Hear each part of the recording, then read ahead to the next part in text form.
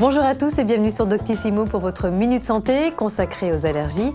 J'ai le plaisir de recevoir le docteur Donna qui est allergologue et tout de suite nous écoutons la question de Marie-Laure.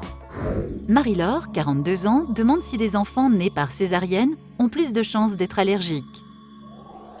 Alors Marie-Laure, merci de poser cette question parce que c'est quelque chose que j'ai déjà lu ça. Alors est-ce que c'est vrai ou est-ce que c'est une idée reçue?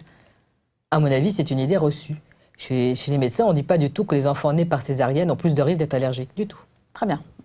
pendant qu'on y est, on va faire justement le tour des idées reçues dans ce domaine. Alors, on dit également que les enfants placés très tôt en crèche euh, auraient moins d'allergies parce qu'ils seraient en contact avec les microbes plus tôt. Ça, c'est pas vrai puisque ça dépend aussi du terrain d'avant et que les et puis on sait pas très, c'est pas du tout prouvé. C'est la vieille théorie hygiéniste oui. qui est très chic, très, très satisfaisante intellectuellement, qui mais dit, en pratique qui dit quoi concrètement? On va peut-être le rappeler parce que elle dit que plus on est en contact avec d'ailleurs avec des microbes, on est plutôt moins allergique que plus allergique. D'accord, donc il faut les vivre à la campagne, dans la boue, etc. Mais ça marche pas. Ça marche pas.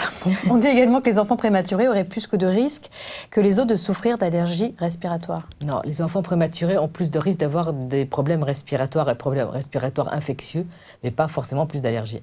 D'accord.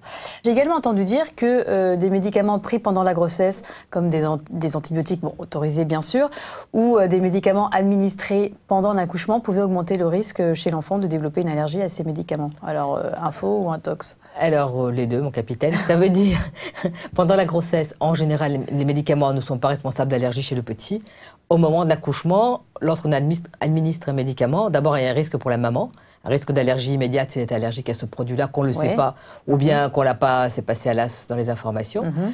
Ou ça, peut être un risque aussi de sensibilisation, d'accord Donc de prévoir une allergie chez le petit par la suite. D'accord, donc il faut être vigilant. Il faut être vigilant, il faut informer. Alors, dernière idée reçue ou pas, je ne sais pas, vous allez me répondre.